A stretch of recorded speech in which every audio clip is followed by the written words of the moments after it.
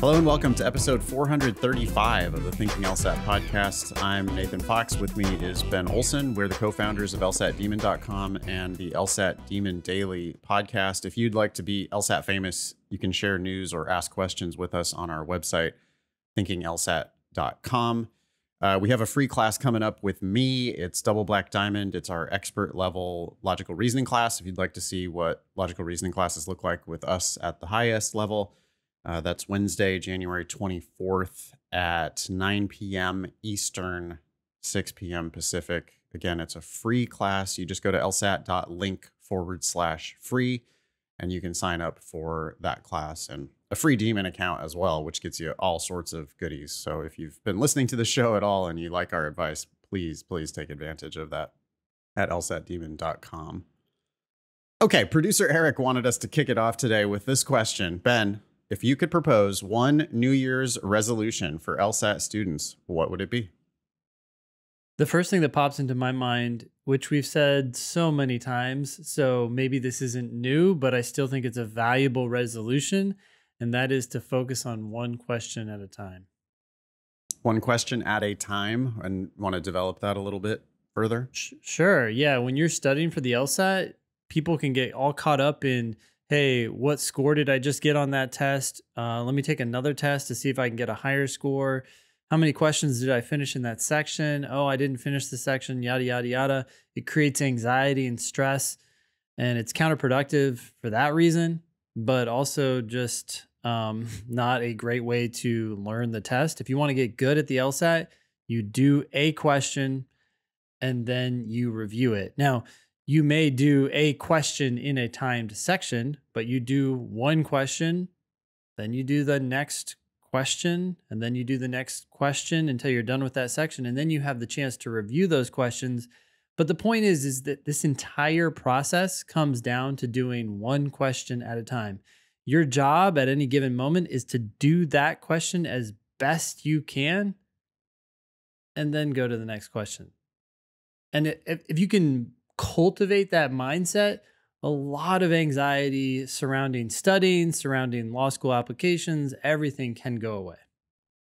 Say more about that.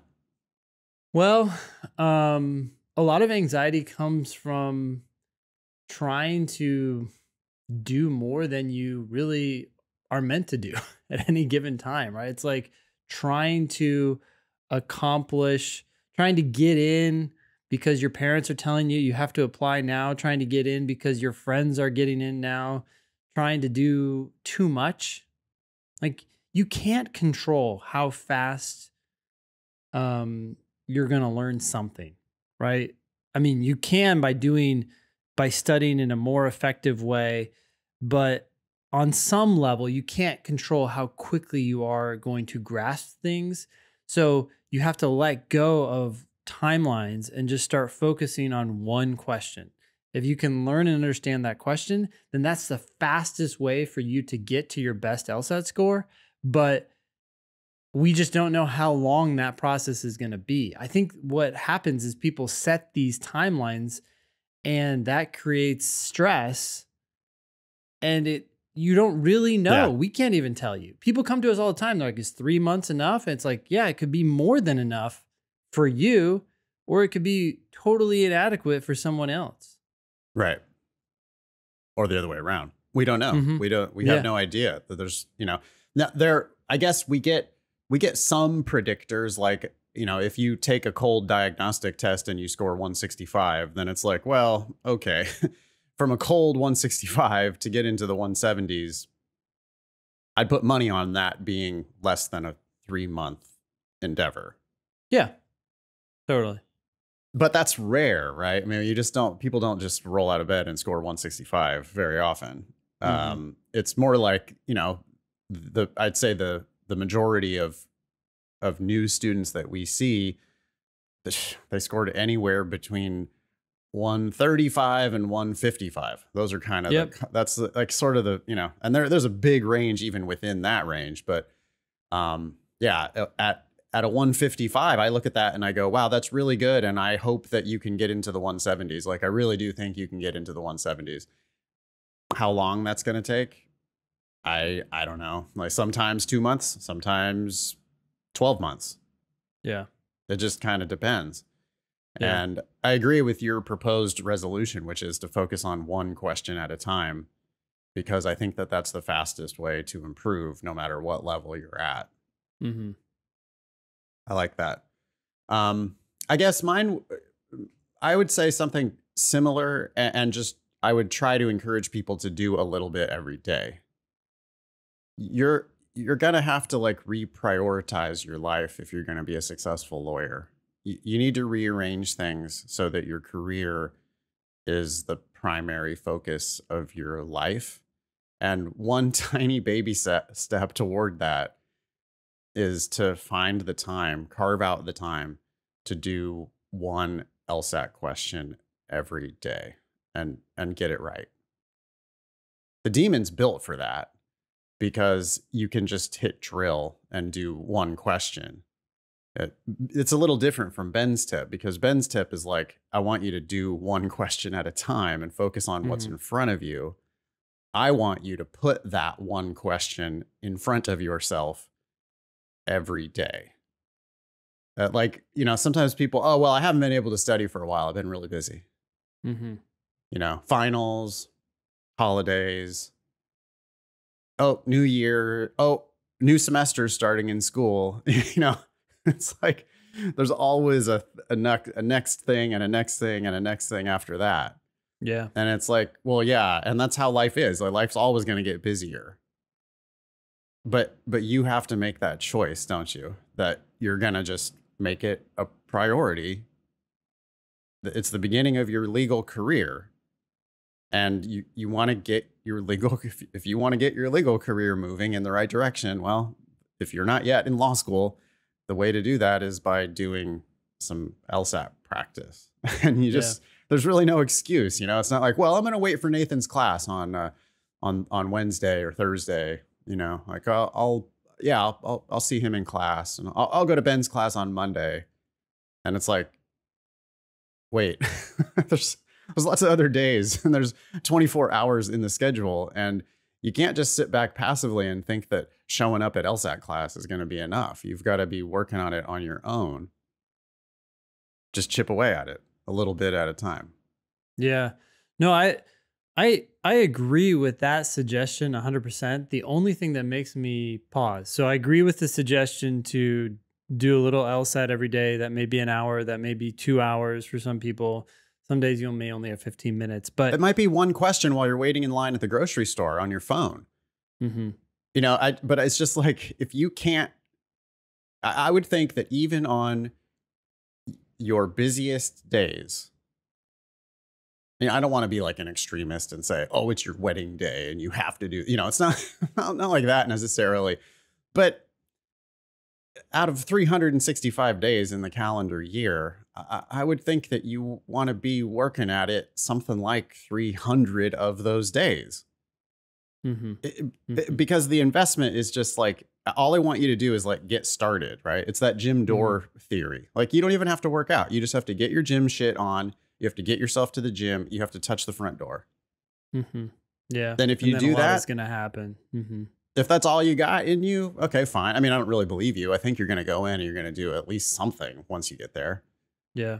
But it's like to minimize the the perceived investment that you're putting in, where it's like, well, I don't have to sit here for 4 hours. I don't have to do a full practice test.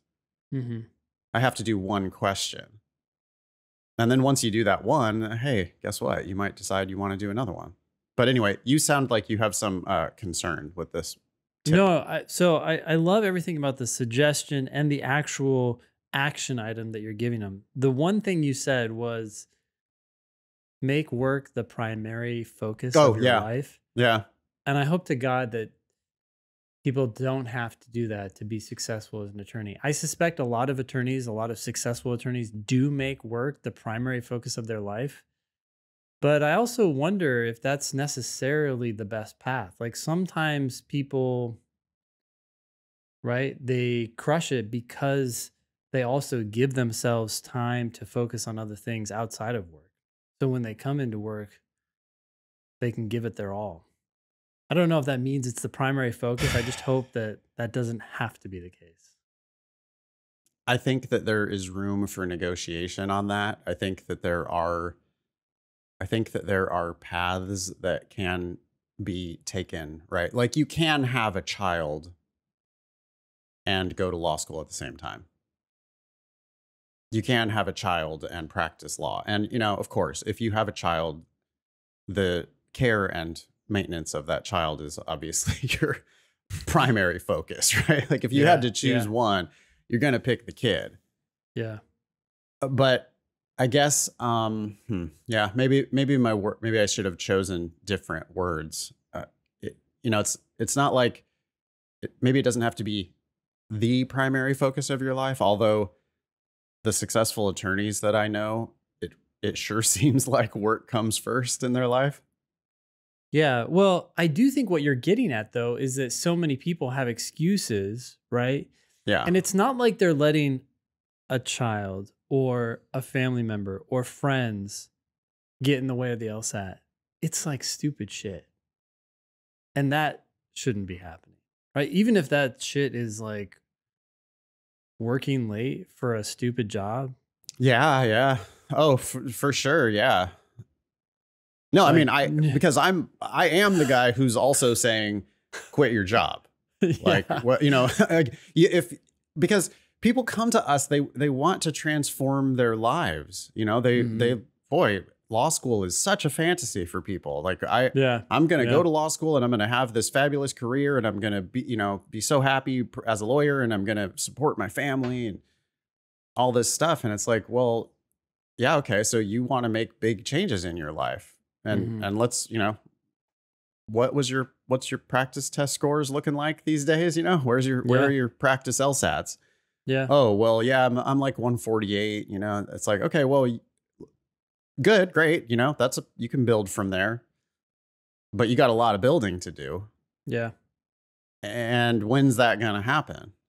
It doesn't have to happen all at once. You don't have to climb the whole mountain right now. But if you don't start taking steps up the mountain, it ain't happening. The mountain's not going to climb itself.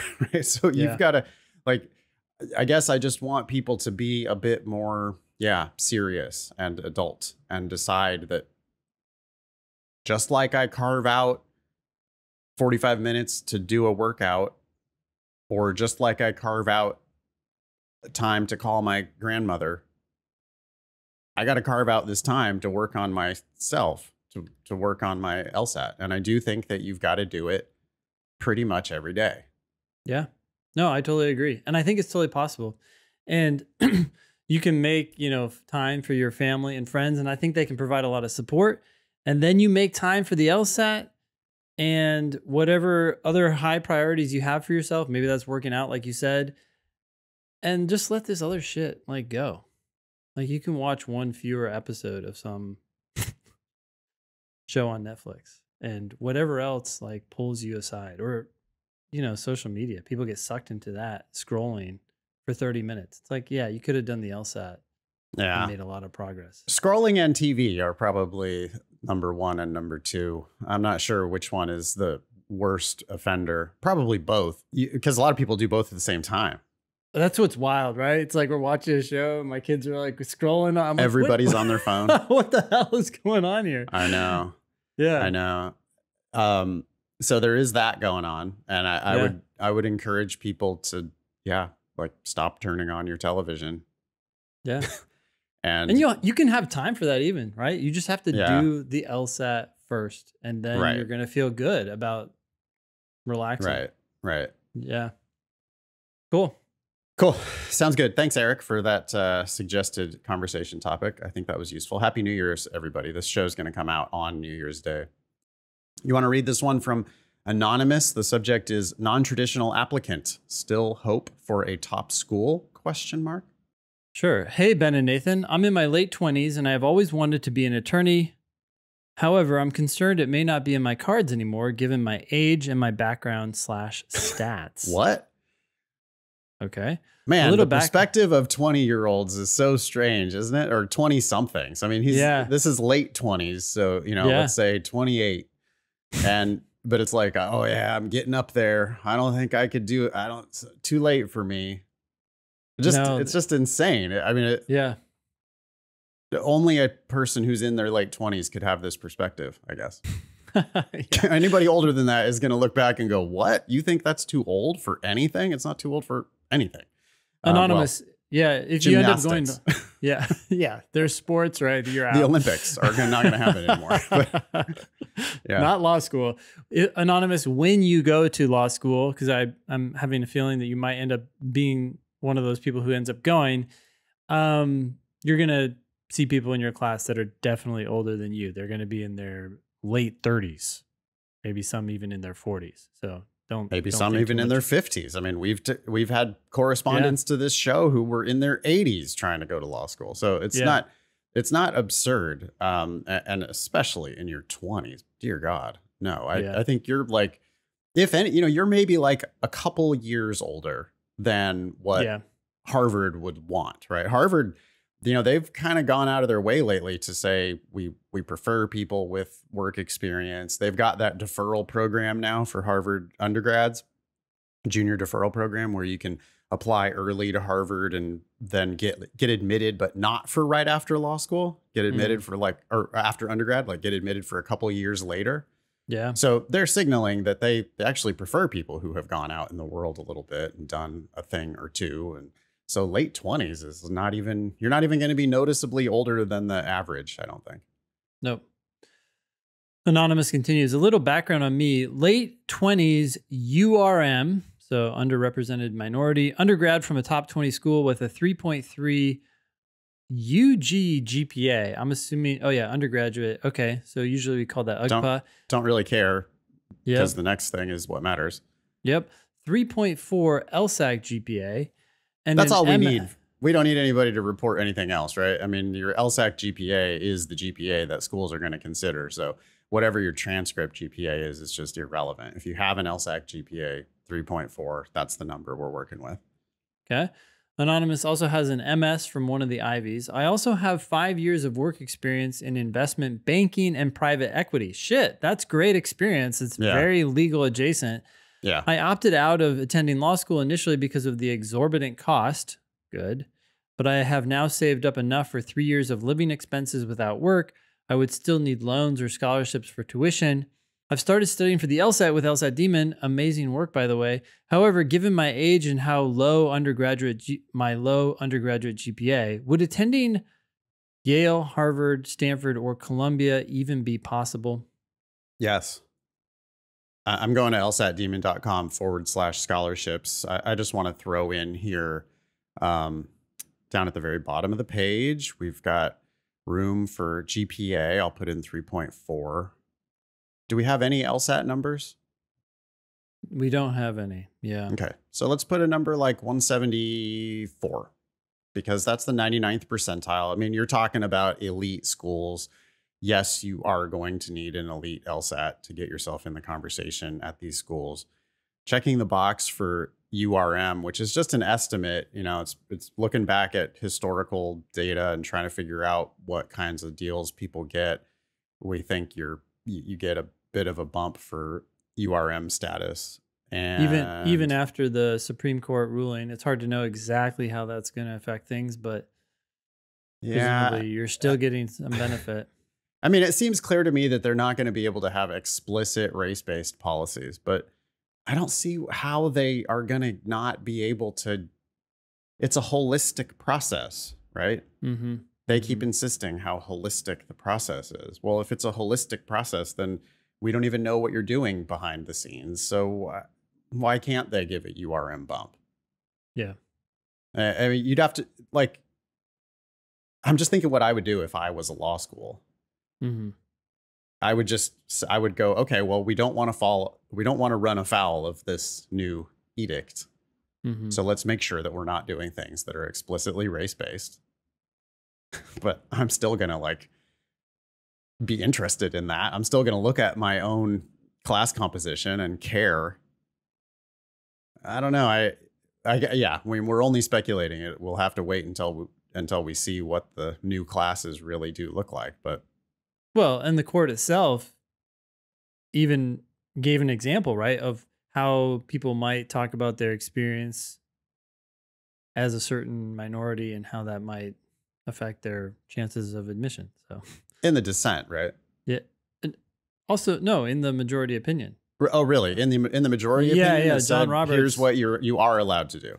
Yes, exactly. Yeah. Like you could Okay. talk about your experience as this individual or this type of individual in I our see. Yeah. society. Yep. Yeah. Mhm. And uh, I mean, that to me just seems like there's an obvious loophole and workaround. It's don't don't be explicitly race based, but You there's can ways. consider, yeah. the effect that race has had on some individuals. Yeah, right. On all of the individuals who apply who have the status. I, I Yep. mean, I don't know. Yeah. It- anyway, um, I'm looking at a more than half scholarship at Duke, which is number five in the country. Hmm. Yeah. Um, Yale, Stanford, Harvard, those are all going to be just need based. But you know, the it, when I look when I think back about the, the offers that I've seen where I was really surprised by the by the admission to Harvard, I do there's there's a couple of them that stand out in my head where it's like, oh yeah, I remember when that guy got into Harvard. With his like 160 Yeah. Yeah. and it's it, the the examples that I remember are URM examples. Like if they're gonna go, if if they're gonna take somebody with lesser numbers, it tends to be a underrepresented class of students. Mm-hmm.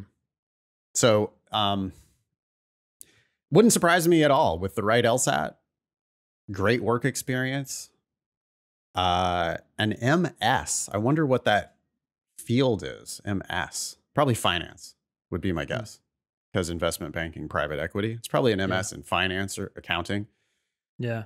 Those are, you know, it's like those are good degrees. That's that's like business adjacent Mm-hmm. great work experience. Yeah, your GPA is is dragging down those schools in the top 14. But with the right LSAT, I don't know. Seems feasible to me. Yep. I agree. And age has nothing to do with it. But I mean, you're totally off like If your anything, age, age, is not holding you back in the slightest. Yeah, right. Yeah. No, that's a very attractive age to, for a law school applicant. They like having people there that are a little more serious. They like having people there that have actually had a job before. You just should saved see up how- money. Yeah. you should see how hysterical all the K through JDs are come finals time. And, you know, the people who have had jobs before in their lives just tend not to be in such a panic. yeah. So, yeah, I I think you should apply broadly with the best LSAT you can possibly get. And um, I, I think you've got great chances. I, who knows? Yeah. Let us know what happens. It's really going to come down to the LSAT. This next one is from Timothy. The subject is Is it worth registering for both April and June tests next year? I would say no because the application deadline is not here yet. The the sorry, the deadline for the test, the registration deadline for the test is not Mhm. here yet. Mm-hmm. And I just don't see value in registering for tests way down the road. Am I wrong on that? I, I feel like you can always just wait until the deadline to register. And at the deadline to register, you can decide whether you want to register or not. But here's Timothy's email. Sure. Greetings, Ben and Nathan. My name's Tim, and it's my first week using the Demon. I started off this year with a diagnostic test of 147, and after two or three months of studying with other test companies, I scored a 159 on my official October test. Sounds like you really probably weren't ready to take the test yet. I mean, 10 points improvement. We used to think that was good, right? Yeah. But, 12. um, yeah. mhm. 12 points, we would have been like, yeah, that's pretty good. It's about what people would get. And since we started the demon, it's more like we're looking for 20 points um, or more. Mhm. While I was happy with my progress, says Tim, I couldn't help but feel that I could have achieved a higher score if I received better instruction. I was consistently scoring minus 10 to minus 12 on reading comp because I was taking too much time making charts and writing notes about each passage I read. Making charts. Wow. Yeah. I don't know what that is. Yeah, we don't teach any of that type of stuff at the Demon. It's my dream to gain admission to a top 14 law school, but my 3.6 UGPA, which is way below the median for most, if not all, of the top schools. I, I need a really high LSAT score to make my dream a reality, and with Logic Games as my best section, I've already registered for the June test, but would love to hear your opinion on how I should spend my next few months and whether I should also register for the April test. Thanks, Tim. Hmm. Wow. Well, if LG is your best section, yeah, these are your only two shots. Should you take the April test? I think it's a real simple calculus. I mean, figure out when the deadline is. And Ben, you've probably got that. When's the deadline for the uh, April test? Yeah, February 29th, last day in February. February 29th. So you've got two full months here, Tim, to decide whether you want to take the April test. I would be going every day. Uh, I, I would be going hard on the LSAT every day between now and that deadline day of February 29th, you said? Mm-hmm. Leap day? Really? Yeah, apparently. Okay, so the deadline for April's on Leap Day 2024. And I would study hard between now and then. And if my practice test scores indicated that I was ready by February 29th, then I would register for the April test. If my practice tests don't indicate that I'm ready, then I don't register for the test. Yeah. Does it have to be more complicated than that? No, it doesn't have to be more complicated than that. And, and the point I think you're making here to Timothy is look, games may be your best section, but you don't need a great games score to get into law school. You need a great LSAT score. So mm. if you hmm. can't get there, if you can't get to the right LSAT score with games in time for April or June, mm. you're just gonna have to buckle down and make LR and RC your strongest section. Mm. Hmm. Yeah, I mean, because let's also be honest, Tim. Um, you know, with with a three point six, you are below the median at top fourteen law schools. Yeah. So to make up for your below median UGPA, you need an above median LSAT. And to get an above median LSAT at top 14 schools, you're looking at something in the 170s.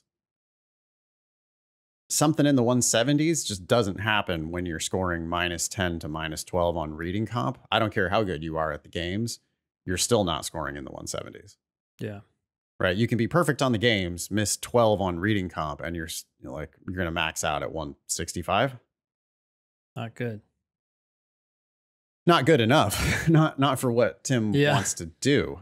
Yeah. So uh, yeah, you're right. You you do have to improve on all sections of the test, and games are only one third of the test. Soon to be none of the test, starting in August of 2024. I'd work hard at it, Tim. I'm glad you're with the demon. Come to class if you're a live subscriber. Come talk to us. Ask us these questions in, perp- in person. If you're a basic or a premium subscriber, that's fantastic. Use our videos, our written explanations. Use the ask button to get extra help. Register for the April test if your practice tests indicate that you're ready on the deadline day, February 29th. And if you're not ready, then you're not ready. So you just have to not take it. I mean, but I would also say don't take it in June if you're not ready. I mean, just blanket advice, right? Don't take the official test unless your practice tests indicate that you're ready to take the official test. Yeah. Okay. Yeah. yeah. All right. Pearls versus turds time. This is where we take a uh, tip from the internet and we uh, tell you whether we think it's a pearl of wisdom or a turd of not wisdom. Okay. Um, mm-hmm. This one's coming to us from Sneha, and the subject is Pearl or Turd reading comp strategy for test takers trying to maximize for games. Huh. Okay. Hi, Ben and Nathan. Because of my accuracy on reading comp can be very inconsistent, could be 60 to 90%, I was recommended to view reading comp as three passages instead of four. Hmm. Usually, when I try to ensure time for the fourth passage, I rush through the section, thereby sacrificing accuracy just to see more questions. Hmm. And by the time I get to the fourth passage, I may have I may only have three or four minutes to read the passage, three or four minutes which could have been better used going through passages one through three and guessing on the fourth. Mm-hmm. In a perfect world, I would not be trying to rush my LSAT journey to be done by June. However, in my mind, I am better off in reading comp getting 21 out of 27 accurate with plus one or plus two from guessing on the fourth passage than like 19 out of 27 getting through all four passages. Is this good advice? Am I trying to rationalize a bad approach? Thanks. This seems like the question is entirely about reading comprehension. I have no idea why it said games in the subject. I guess I'm just Maybe going to let go of because- that. I think she's trying to rush her LSAT journey by being done by June. Oh, so that she can take the test while it still has games. Yeah. I see. I want to go back to Ben's advice to the previous correspondent, you know, that you I don't care how good you are at the games. You, you you also have to be as good as you can be at these other two sections. Like the games can't carry your entire score. You, you've got to be good at logical reasoning and you've got to be good at reading comprehension. The question here really is can I be good at reading comprehension with only doing 3 passages? And my answer is yes. And if you do it that way, you might eventually realize that reading comp is easier than you're making it out to be. And you might eventually go back to doing the fourth passage after you've done the three passages with accuracy. She says, My accuracy on reading comp can be very inconsistent, could be anywhere from 60 to 90% accuracy. So that's like really, really pretty bad, isn't it? I mean, that's not good on Yeah. on questions attempted. So you're never hundred percent on questions attempted. Yeah. Best case Yikes. scenario, 90%. You really like want best be, case, you're never you're never getting them all right. Yeah. You you really should be focusing on two passages right now and getting between 90 and Right. 100%. Yeah. Well, what you should be doing is focusing on the first passage and getting 100% accuracy. Yeah. Then you can look at the second passage work on 100% accuracy. Then, if you have time, you can do a third passage with 100% accuracy. You just have to get paid for the work you're doing. Um, Yeah, and we're playing the long game here, right? I think when people hear that, they're like, "One passage? What the hell are you Right. talking about? How can I score anywhere in the 160s, let alone 170s, Yeah, if you I'm only can't. doing one passage? Yeah, You you, can't. can't. But this but is you your can journey. get good at reading comp. Yeah. yeah. It's like you can learn how to do it the right way. You know, Yeah. it's like, well, how am I supposed to learn how to become a US Open golfer if all I'm Mhm. going to do is work on my chipping and putting? yeah, And the answer is you can't. you can't. yeah, You need to work on more than just your chipping and putting if you want to be playing on the PGA Tour. hmm But you do have to be damn good at chipping and putting. And what I'm telling you is if you practice your chipping and putting, it's going to pay dividends on all the other rest of your game. Well, back to Sneha, work on your chipping and putting in that first passage. hmm Get good at it. Get get good at real at recognizing right answers. Get good at realizing the wrong like seeing how the wrong answers are wrong. Hmm Because if you're at 60 to 90%, geez, the midpoint there is uh, 75%. hmm So the midpoint of your accuracy range is you're going to miss one out of every four questions. But that means that one out of every four questions you're missing. A- another one out of the three that you got right, I'm sure you half guessed on it. Yeah, so your your your skill level is 50%. Yeah, right. You're you're like uh, the ones that you're actually getting right, where you like you know you got it right. That's like you're doing about fifty percent accuracy, Yeah. and then on the on the rest of them, you're just like, well, yeah, you know, I, I got rid of those answers. It can't be that one. It can't be that one. It's got to be one of these two.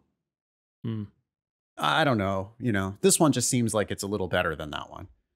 okay, well, no, there's a reason why the wrong answer is wrong, and there's a reason why the right answer is right. And so you've got to find those reasons. You've got to refuse to pick wrong answers because they are wrong. There's something in there that makes it wrong, and you just can't pick it. And you've got to learn how to see that. You've also got to learn how to not not pick the right answer, right? It's sitting there right on the page, and you're like, nope, not that one. And it's like, oh, ooh, really? Uh, hmm. Okay. you're you're making a mistake there. You know, you're making two mistakes. You're picking a wrong answer and not picking the right answer. Mm-hmm. Uh, we gotta gotta clean that up a little bit. Isn't that interesting though? Like the student sees their mistakes and then they give themselves like full credit for all the ones that they get right. Yeah. Yeah. so what they're not understanding is that they're they're not even really understanding the ones that they're getting right. At least Yeah. a, a big chunk of them, I'm sure that you couldn't explain it to me. You have no reason, you have no idea why that answer is right. Yeah.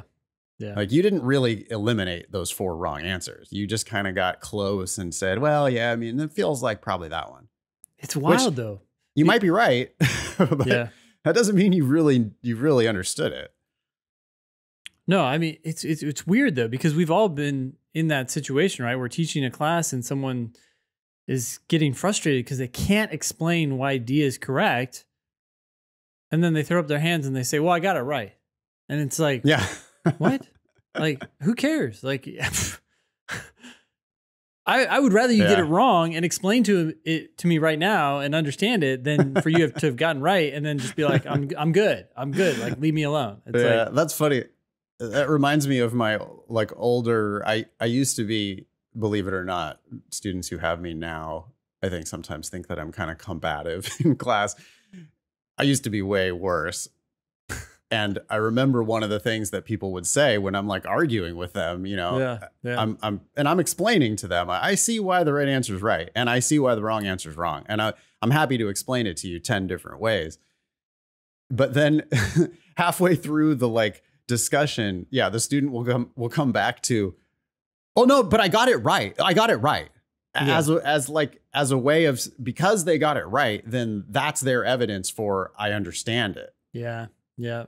And it's like, well, I mean, from random guessing, you're going to get one out of five right. Yeah, twenty percent you chance to get it right. That's The fact- like the the broken clock is going to be wrong, or sorry, the broken clock is going to be right.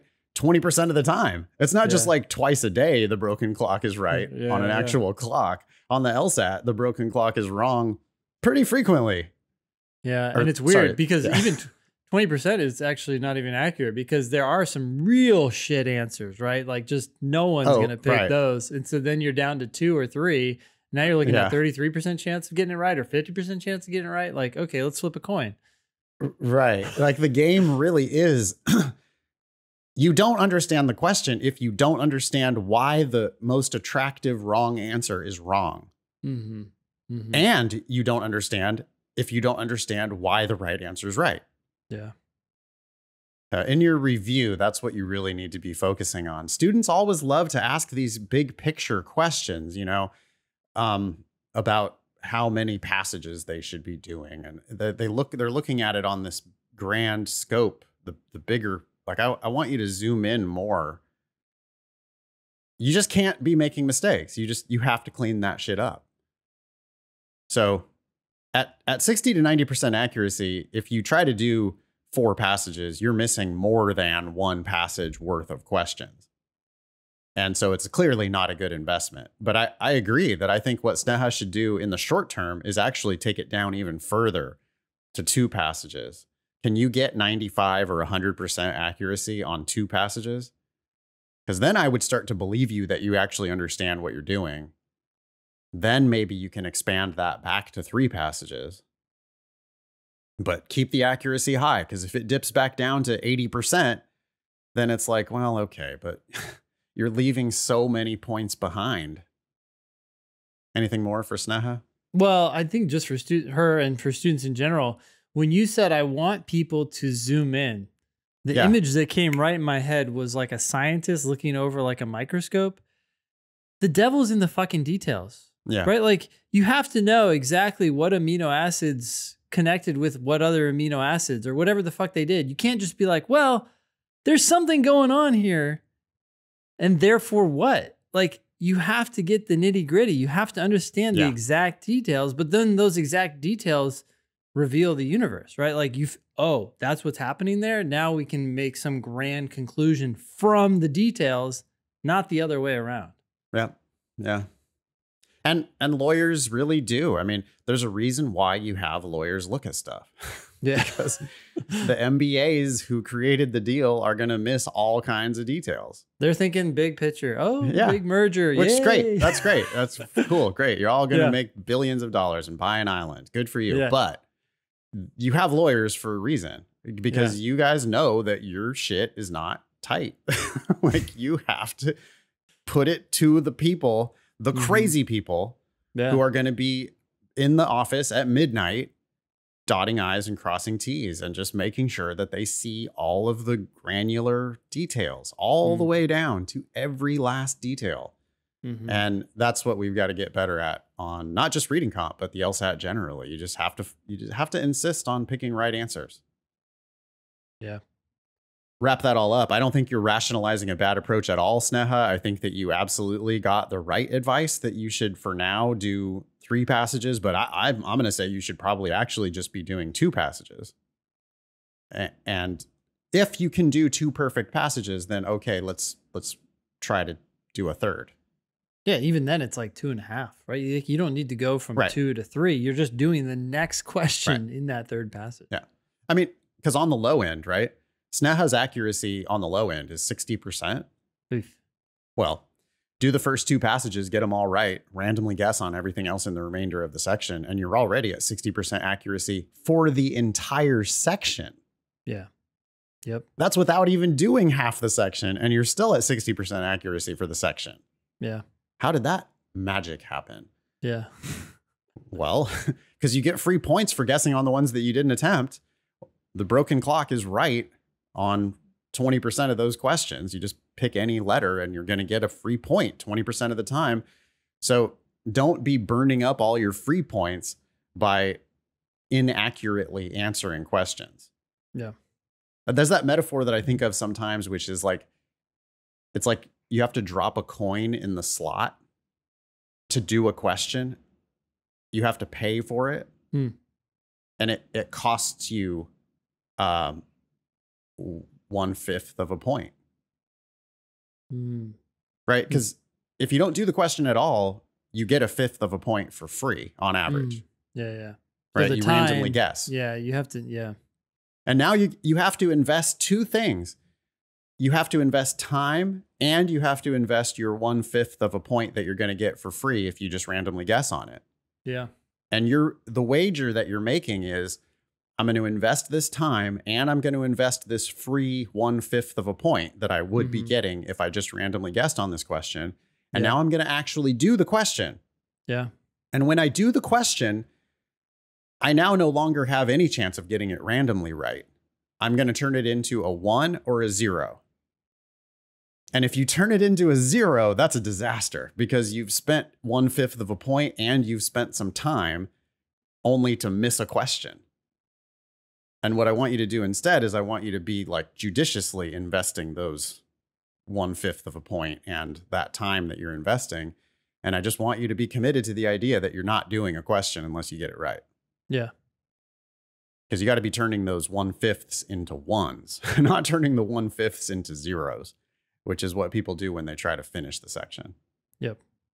Anyway, it sounds like the tip that she had gotten was a pearl. Yeah. Do three passages instead of four. Yeah. Even more of a pearl if someone had said, you know, consider doing two passages. Yeah. Or even one. Start with one. Start with one question. I mean, Yeah. like read the passage, get the first question right. Yep. Okay. If you can do that, then the second question. hmm Scoreboard now, there's lots of bad advice out there. This was actually a pearl. The scoreboard now is 27 pearls against 76 turds and 26 ties. So be careful where you're getting your LSAT advice. If you have a pearl versus turd candidate, you can let us know at thinkinglsat.com or find us on social at thinkinglsat. We've got an email here from Anonymous. It says conservatives at law school. Hi, Ben and Nathan. I was wondering your thoughts on applying to law school as a conservative. I'm socially conservative, but I don't fit neatly into any political school of thought. I'm fine with being the odd one out, and I enjoy surround being surrounded by people who disagree with me, but I also don't want to be in a situation where being honest about my point of view will hurt me in terms of relationships with professors or opportunities for experience. When I look at faculty pages and what types of things home pages of certain schools advertise, I'm concerned it won't be a good place for me to engage my interests. At the same time, I would like to apply to some of these liberal leaning schools, especially the top schools. Do you think this is a reasonable concern to have when looking at where to apply? Am I overestimating the amount that political POVs will even come into play? I think the I think anonymous you might be overestimating the amount. I mean, law schools tend to be left leaning, um, but that doesn't really matter. And in fact, look at it as a great opportunity to hear different perspectives, which it sounds like you're open to, and modifying your views. I'm not saying that you should become left leaning. I'm just saying that when you put your ideas through a furnace, they're going to become better um i i can only see good things here and you know if you're ever concerned about sharing your ideas in a way that would offend people just take the time to listen like it's law school. You're going there you're learning you're getting a grade in classes. If you feel like something's too controversial just listen. Yeah. Depending on how extreme your views are, you know, I mean, there are some schools that I can see, you know, you're going to have a hard time if you write your personal statement about how um, you are you think that you're worried about the gay agenda or something. Yeah. like, yeah, you know, yeah. I mean, there's some schools where if if you say shit like that, they're going to be like, okay, we don't want this bigot on our campus. Yep you know um, if you say stuff that's racist homophobic um, if you think women should not be in the workforce you know i mean i don't know how conservative there's conservative and then there's like real conservative i don't know what you mean yeah there's such a spectrum i mean the fact that you you enjoy being surrounded by people who disagree with you maybe you're maybe you're in the more reasonable realm i have no clue yeah. But um, because there are also like people who just, you know, they're far out there. It's like, what?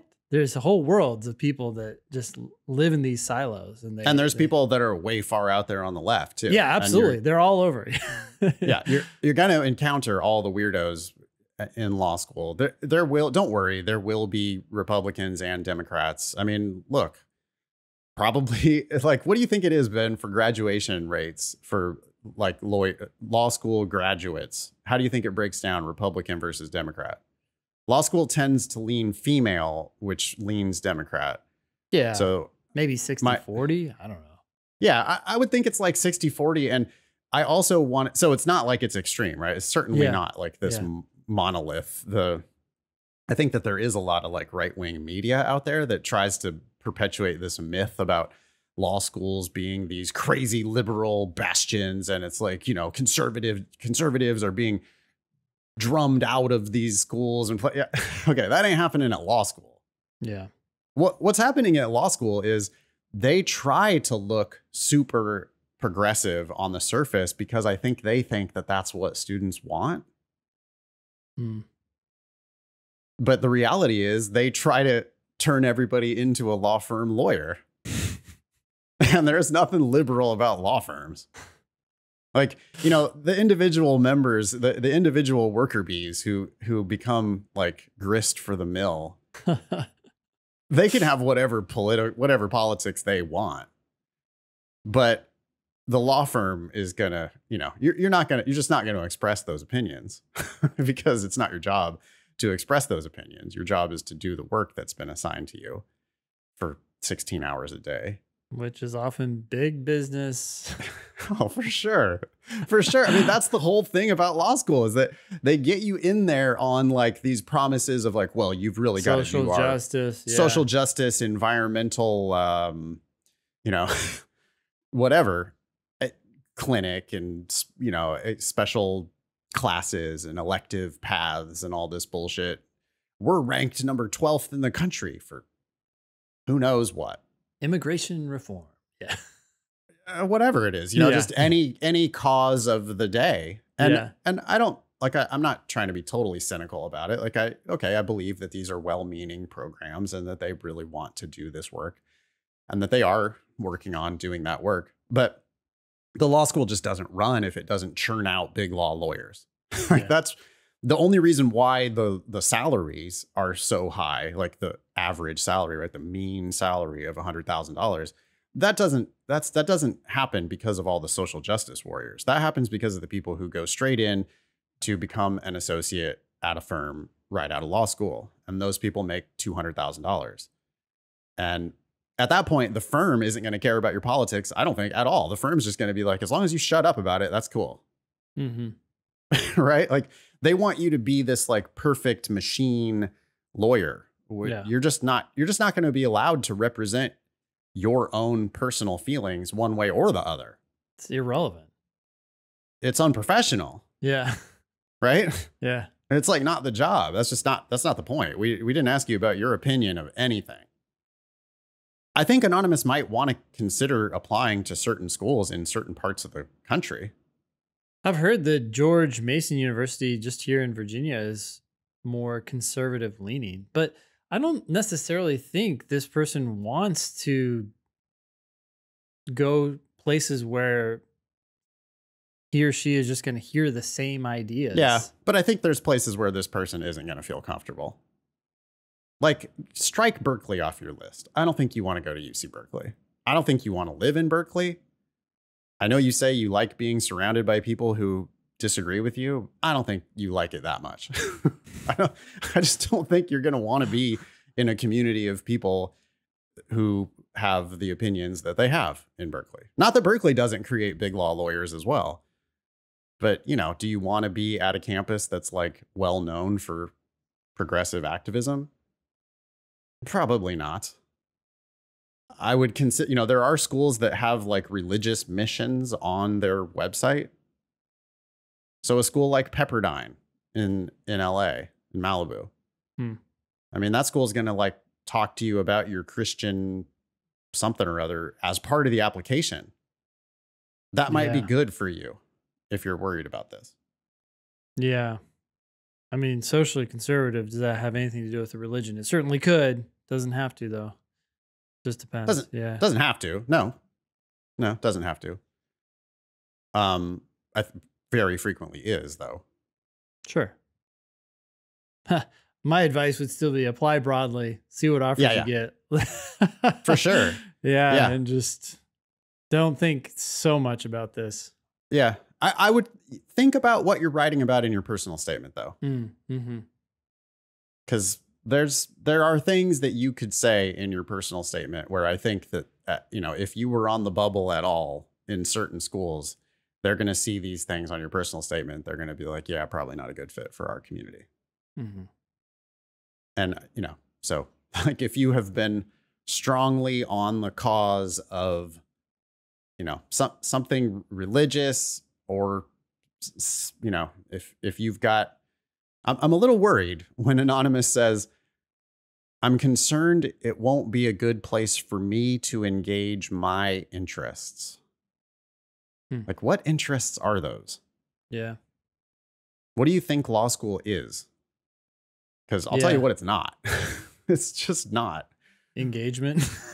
well it's just not about you yeah. They don't give a shit about you. That's not about you. It's about are you going to be able to become a gladiator of the English language to fight these legal battles? And it, it should be irrelevant what team you're fighting for. They're going to, you know, they they say that they're going to teach you how to think like a lawyer and that you're going to be able to argue any position. yeah. I mean, if you can't argue any position, then you're not a good lawyer.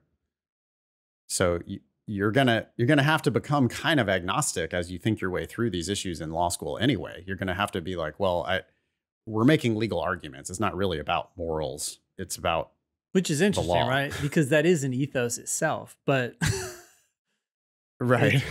but whatever. I mean, like that's that's the ethos is like stop worrying about different sides, get good at making an argument for one side and at the same time making the opposing argument right away. Like can you do both? Yeah. That's the skill that they want you to get good at. Yeah. Cool. Yeah. Next one up is uh, from Jackson. The subject is testing with accommodations. Jackson writes, Good afternoon, LSAT Demon. I have been granted time and a half on the January 2024 LSAT. With the time extension, I regularly test at 175 and above. Okay. I'm glad we have made the. I'm glad we've made it more fair by giving you this accommodation. However, I have recently encountered an unex- unexpected mental challenge. Now that I know the potential to reach a high score, I have assumed that I have the ability to test perfect or nearly perfect. Consequently, when I complete a question and I am not entirely self assured that I selected the correct answer choice, I will dwell on the question and lose confidence in my ability.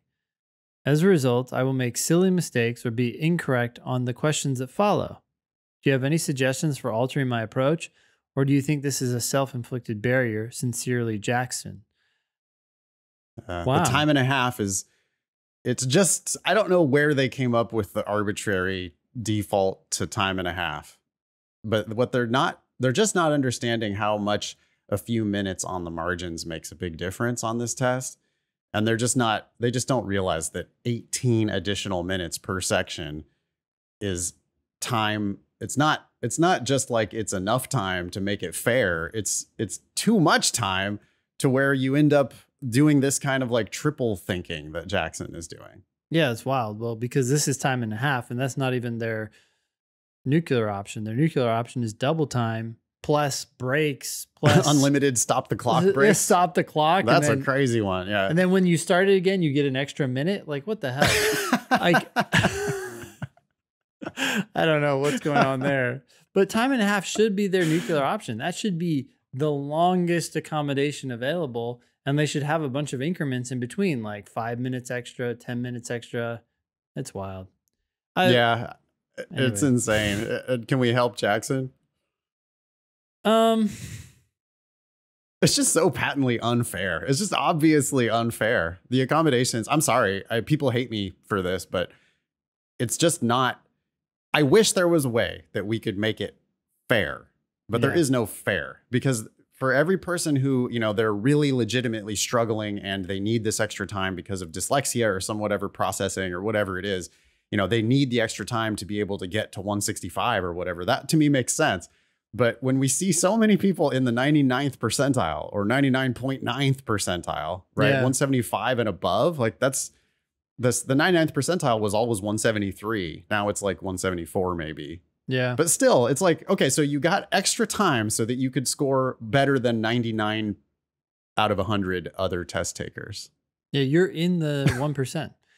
You're already there, Yeah. Jackson. Like maybe stop thinking about perfect. That's the problem. You're Yeah. already perfect. You're in the 99th percent. Yeah. Yeah. And there's going to be variance around that 175. So just make sure that you take the official test multiple times. If you Yep. regularly test at 175 or above, then that means, you know, it's not going to take too many attempts and you should get one of those 175 or hope, hopefully even above. And at that point, the variance is your friend, right? You'd rather Yeah. score 175 plus or minus five than score 175 plus or minus zero Yeah. because 175 plus or minus zero, your best score is going to be a 175. But if you score 175 plus or minus five, then your best score is going to be a 180 if you Mhm. just keep taking it. So Yeah. yeah, I would just calm down, I guess. And at your level, you don't you don't need to get every every every one right. There are going to be ones where you get, you know, probably what happens at that level is you recognize it as a hard question. You recognize that there's something going on there. There's something that you're not quite seeing, but you still know that it's not this answer and it's not that answer and it's not that answer. And you get it down to two probably, and you go, well, it's got to be one of these. And then at, at some point, you do have to just kind of go with your gut and say, okay, well, my spidey senses are tingling on this one and not that one. And so I think it's probably this one. And you're not going to be 100% accurate on those. You know, you're you're going to but you you will probably be like 75, 80% accurate on those. And since that's only going to happen to you once or twice per section, you just got to roll with it. Just be okay with, yeah, okay, I didn't get to 100% on that one, but I am getting to 100% on 23 or 24 out of 25 questions in the section. And Yeah, that's going to be plenty. Nathan, you and I get questions wrong every now and then. oh, of course. Like, yeah. Maybe No, you're totally. just setting too too high of a bar for yourself, Jackson. I think Yeah. that's great advice to just look at the ones that you've crossed out and make sure, yeah, hey, those seem like they're wrong. So then pick an answer and move on. Maybe also just practice. This may sound a little soft, but like gratitude. Just say, hey, look, I'm grateful that I got time and a half, and I'm grateful that I'm scoring in a range that most people will never get to. So it's already good enough. yeah. Yes, little gratitude goes a long way. Think about what your grandparents were doing when they were your age. They were probably like supporting children by working their asses off. And uh, you know, you're studying for this test. So you're you're in good shape, Jackson. Thanks for writing in. Yeah. Next one's from Finn. Um, the subject is letter of recommendations. Hi, Ben and Nathan. I work in the legal org of a five, uh, sorry, of a Fortune 30 company doing work in the kind of law I want to practice. Cool. Wow. I work closely with a colleague who went to law school slash bar certified, but is not a practicing attorney. And then in parentheses, JD Advantage job. That's some shit that law schools try to tell you. Yeah. law schools, they love to point, oh, yeah, well, no, our graduates, no, they don't. Yeah, those jobs, they, they don't need a JD for those, but JD Advantage Mm-hmm. Yeah.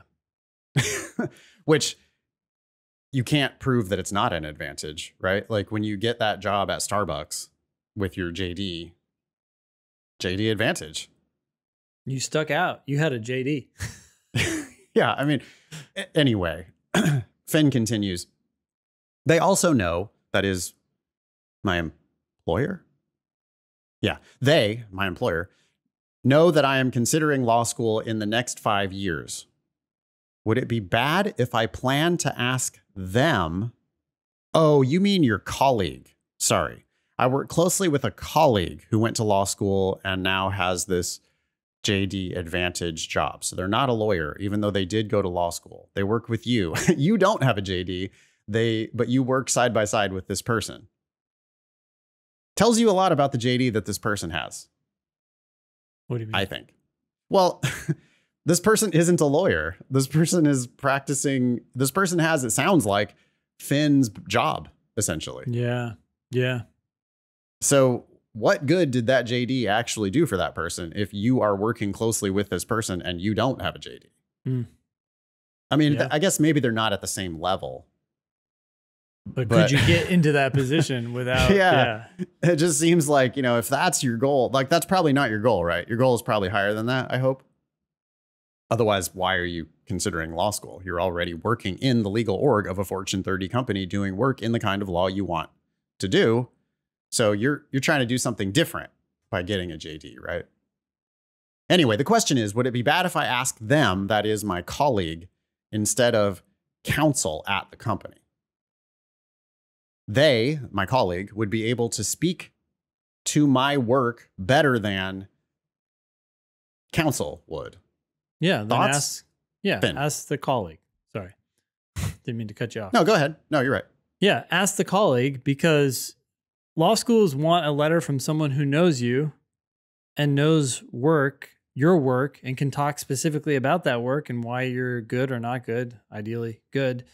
Um, I think Finn here is worried about the the position of the person writing the letter or the the fact that they're an actual attorney. None of that matters. No, and you know, another example would be if you're having a question, should I have my direct supervisor write me a letter or should I go have the head of the legal department who doesn't know me write the letter? Hmm. Obviously, you need the person who actually knows what you did. Yeah. so the person who can speak confidently and with actual knowledge of your work Mm-hmm. is always going to be a better letter than uh, somebody with a fancy title. Last one is coming to us from Susan. Says another question on whether or not to study logic games. Okay, Eric, producer Eric notes that Susan scored 156 on her diagnostic. After a couple of weeks of study, she scored a 160 with minus 14 in logic games. wow. That's hard to do. 160 with minus 14 in games. That means you're really, really solid on LR and RC both. yeah. Yeah. missing that many questions on games. I mean, you got nine points on games, but you still yeah, scored almost 160. all your. yeah. Okay. Wow. Because Yeah. almost all your points are being lost in games. Not necessarily all. Um, Damn yeah. close. Okay. Okay. Susan writes, I am definitely improving in my in my understanding of logic games and ha- and having a lot of fun working on my skills there. Oh, I like to hear that. But I'm wondering if you think it's worth putting in the hours to master them when I am not in a rush to test and I know it will be a long road to get to mastery as opposed to spending all that time on LR and RC. Do you think we'll see score inflation in August due to the end of logic games and that it would be worth getting a high score before then? No. My GPA is a 3.86. Goal is to not pay for law school. Cool. You know, I think Susan thinks that this process is going to take longer than it might, especially for someone Mm. who's doing so well in the other two sections and for someone who's having fun doing games. I wouldn't stop Yeah. improving LR and reading comp, obviously, because that's where your bread and butter is going to be after June of 2024.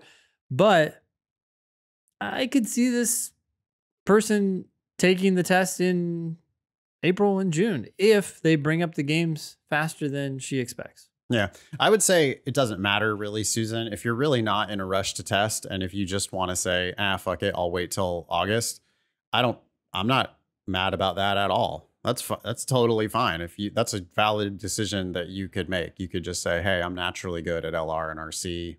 I'll just play that game instead Mhm. and just put the logic games aside. I, I'm totally cool with that. But I would also be cool with keep having fun prepping the games. And if you can see it as an opportunity, then that's what I really that's that's what I would really be excited about. It if you because the the thing is like as good as you are at LR and RC, you're still more likely to score perfect on the games if you get good at the games. And you know, you you can be the best there is on LR and RC and still miss a question sometimes. But you don't even have to be close to the best there is to get perfect on the games. like the games is you know, people that are just not even good at the rest of the test, but they still score perfect on the games because the games are so solvable, like obviously solvable. Yeah.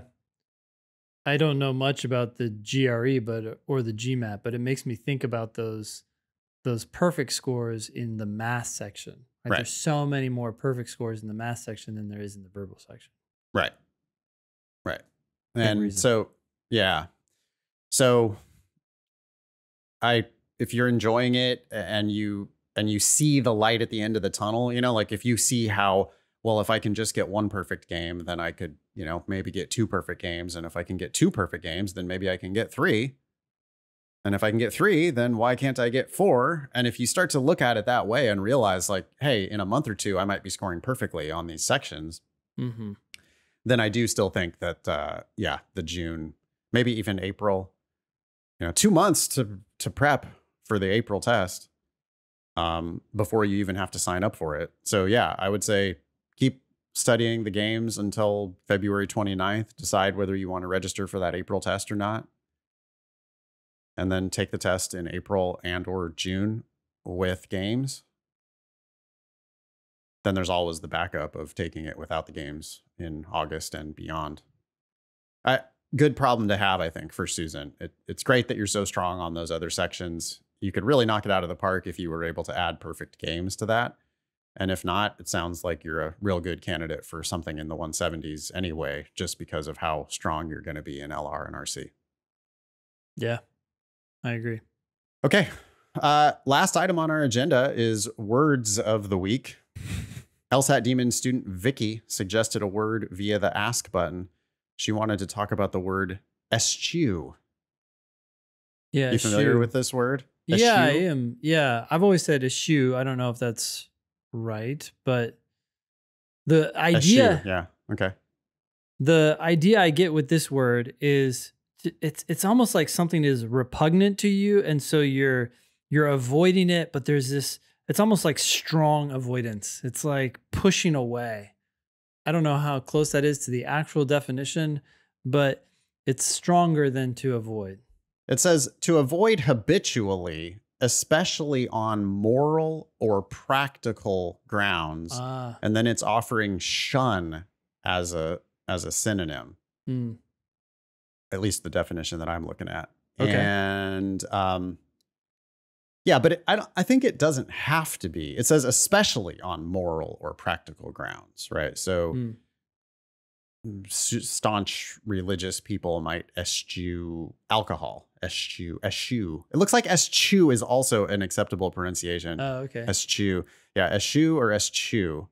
Um, but yeah, it just basically means avoid, and I think it would be correct to say that you know my uh, nephew Ryan eschewed eschews the um, broccoli on his plate, Yes.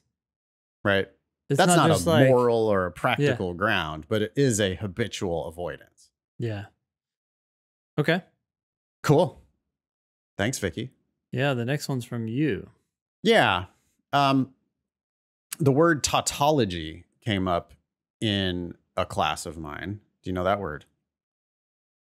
I don't know it well enough. I know it it's means like repetitive or something like that, but um I feel like it it has more meanings than I'm aware of. Yeah. So 1A and 1B here on Merriam Webster, tautology is needless repetition of an idea, statement, or word. Mm, so, So, it's um, needless. it's not just repetitive. No, it's rhetorical repetition. So if you say always and forever, Sure. Okay. an instance of this repetition. Yeah. So a phrase, the phrase, uh, a beginner who has just started is a tautology. Yep. Right. Okay. ben like kind of cringed at that. It's yeah, if it's a if it's a phrase that you look at that and you go, you know, I really don't think we need that. Yep. The second definition comes from logic. Hmm. It says a statement that is true by virtue of its logical form alone. A logical combination of sentences that is always true, regardless of the truth or falsity of the constituent sentences, is known as a tautology. Huh. Oh. Who survives? The fittest. Who are the fittest? Those that survive. Mm, That's a quote. Circular. It is, yes. And so I it it when I see that on the LSAT, and it this appeared on an actual LSAT question, and I think that they were, I, I do think that they were getting at that second um that second definition from from logic, where it's like it's just from the form of your statement, from the logical form of your statement, Mm, it's a it like it proves itself. mm.